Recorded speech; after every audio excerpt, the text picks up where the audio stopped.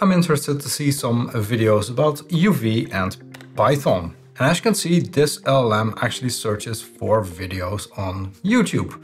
So there's a tutorial by uh, Corey. There's also one of the videos by me. High quality Python content and practical examples. Oh, very much appreciated. Anyway, I'm going to show you today exactly how I built this and how you can build integrations of your own tools with LLMs. As you'll see, there are multiple ways to structure this architecturally, and you actually do need to make a choice, but more about that later. But first, I want to talk about the standard that makes all of this possible, and it's called MCP. According to ChatGPT, MCP was introduced by OpenAI, which is completely false it was Anthropic. Interestingly, if you ask Claude by Anthropic for what MCP is, it makes even less sense. Multi-controller processing architecture? Seriously? I don't think we're all going to be replaced by AI just yet. What MCP does stand for is Model Context Protocol. It's an open standard that allows AI models like LLMs to integrate with external tools and data sources. Now, you might think to yourself, why is that even necessary? Don't we have RESTful APIs already? Why can't LLMs just use that? Well, most language models, like ChatGPT, they operate in a safe sandboxed environment. They don't have network access by default. They can't freely call some arbitrary HTTP endpoint. And of course, a chatbot also needs to understand what your API does and what inputs it takes and what responses to expect. So even if a model could directly call an API, it wouldn't know when to call it, how to format the parameters, what to do with the response structure. And that's where MCP comes in. According to the website about Model Context Protocol, it's like a USB-C port for AI applications.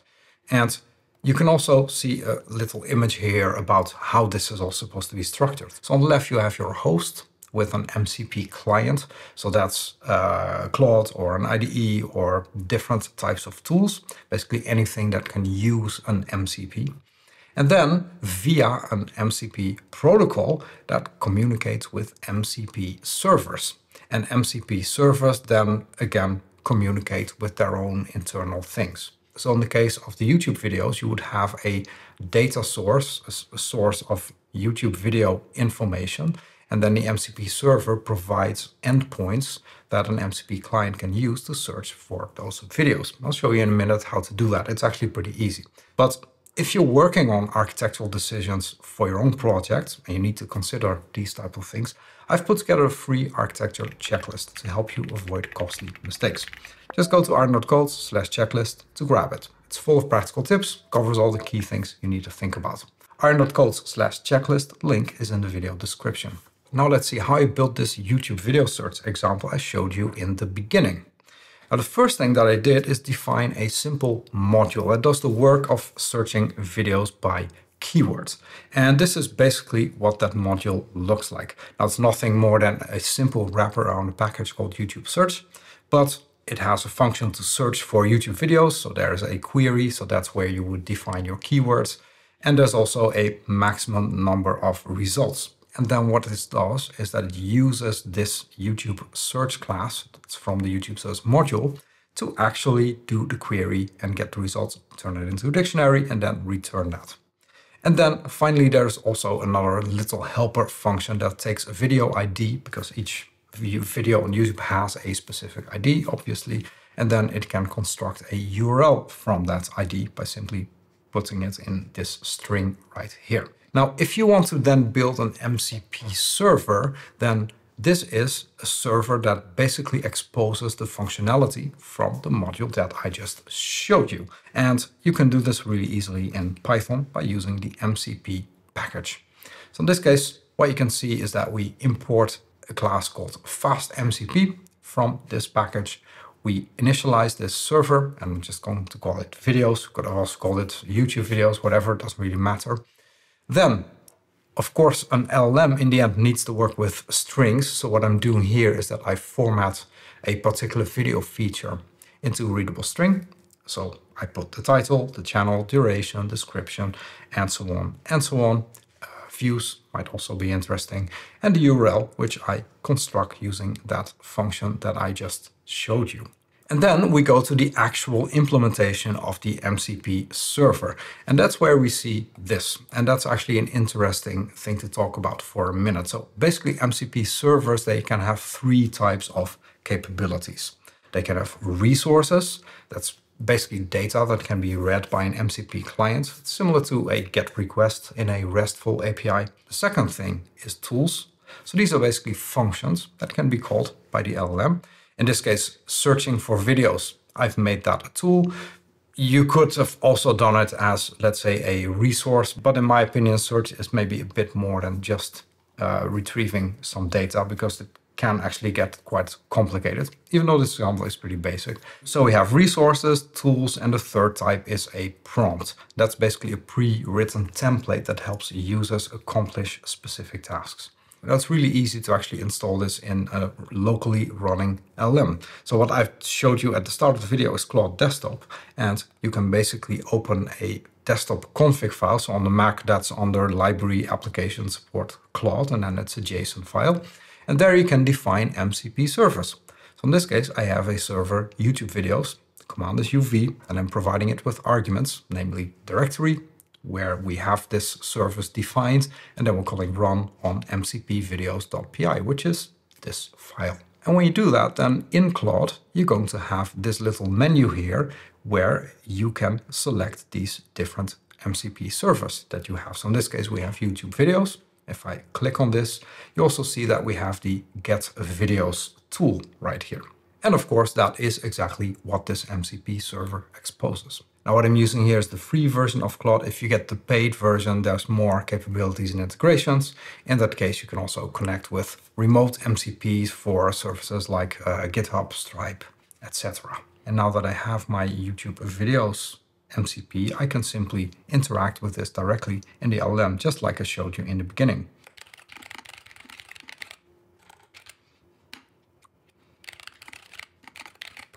And as you can see, we get a bunch of different video suggestions. If you look at this little block, you see that there's a request. So this is actually how it interacted with our MCP server. And then in the response, we have all of this uh, data that was formatted by our MCP server. Now, it didn't mention the URL, uh, which I think uh, would have been helpful here. So you can probably improve the prompt so that you actually get uh, URLs actually from Claude because it does get that as a response. So there's definitely some things to improve. Now, if you look at the architecture of this, then basically my MCP server currently directly uses the YouTube helper module. In terms of architecture, this might actually not be the best way to set things up because that also means that there's now various direct function calls throughout the code. For example, when I'm formatting the video, I directly call constructing the video URL right here. And in my MCP tool endpoints, I have to call directly these functions. Now, obviously, this is a very basic example, but you can imagine this can become quite messy once you start adding more features or you have a bigger service that you want to expose as an MCP server to your LLMs. Now, on top of that, if you are, let's say, building some sort of bigger service, it's likely that you already have a RESTful API that exposes functionality to other clients, such as a front-end app. Now, before I show you another version of this MCP server that is architecturally slightly different, give this video a like if you're enjoying it so far. This really helps me out because then I know whether or not to make more videos about this topic. If you don't want to miss those videos, make sure you also subscribe to the channel. Now, back to our MCP server architecture, you want to avoid duplication and therefore it might make sense to not directly call these modules, but call your API instead. Now for the MCP server, that adds an extra indirection, but also means that if you make an update to your API or fix a bug, then the MCP server benefits from that immediately as well. So here, let me show you another version, but now it relies on an API. So what I did in this step is that I have a new file called video API. So this is kind of my RESTful API. And here I have a simple FastAPI app that does the video searching for me. So I have a GET request for getting videos. this actually searches for uh, videos and then returns that as a dictionary using the video base model. And as you can see, it also directly calls this video URL helper function to construct the full URL. Then once you have this API, you can create another version of the MCP server that then calls that API instead of relying directly on the modules. And that's what you see here. So I'm using HTTPX as a package to uh, do HTTP requests. Have my uh, URL, API URL, and of course you can change this to if it's hosted in the cloud or something. But then what we have is just a piece of code that formats the video. So we had that in the previous MCP server as well. But as you can see, it here just directly gets the URL from the result. And then we have the tool that actually uses an HTTPX async client. And then it does a GET request on my API. That gives back some JSON data. And then you can use that to actually format each of these entries that you get back into a uh, response that an LLM can actually work with. So this is an architectural choice that you need to make, right? Uh, do you directly call the modules your MCP server or do you actually build your MCP server as a layer on top of your REST API? By the way, there is a third option. With FastMCP, you can actually automatically convert a FastAPI application into an MCP server. Here you see an example of that. Now, of course, this only works if your original API was already written in FastAPI, but then this is an easy way to convert it into an MCP server. You'd still need to think of the architecture for the case where you would like to have both the API and the MCP server. So this may not work for you, but at least it's possible. Now, I'd say if your service is really simple, then maybe there's no need for a separate layer. Also, if you never plan to use an API that's separate from your MCP server, in other words, if the things you're building is specifically and only for integrating with AI models, yeah, then just keep it simple, obviously.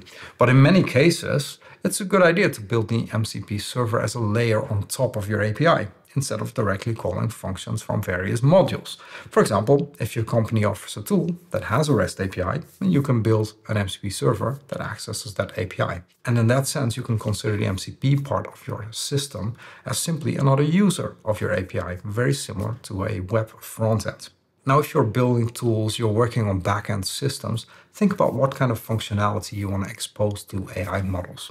This is all very new, but in the coming years, I expect we'll see many MCP implementations. And I expect that soon offering AI access to your tool via MCP is going to be expected. If you don't do it, then your competitors will. Fortunately, as you've seen today, building an MCP server is not hard, as long as you set it up so that it's easy to maintain for you. In most cases, that means letting the MCP talk with your REST API if you already have one. But I'd like to hear from you though. Did you already build an MCP server yourself? What's your experience been with them? Do you have any tips you'd like to share? Let me know in the comments. If you'd like me to dive deeper into these type of topics, system design and architecture that involves AI, let me know what you'd like me to do more videos about. Now, API design in general is something that's hard to do right. If you want to learn how to do that, make sure you check out this video next. It covers a few crucial things you need to do. Thanks for watching and see you next time.